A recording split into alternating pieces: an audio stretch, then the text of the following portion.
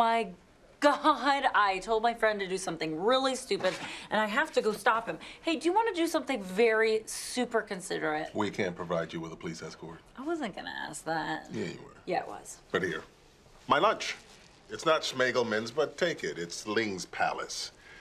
It's fine. Fine.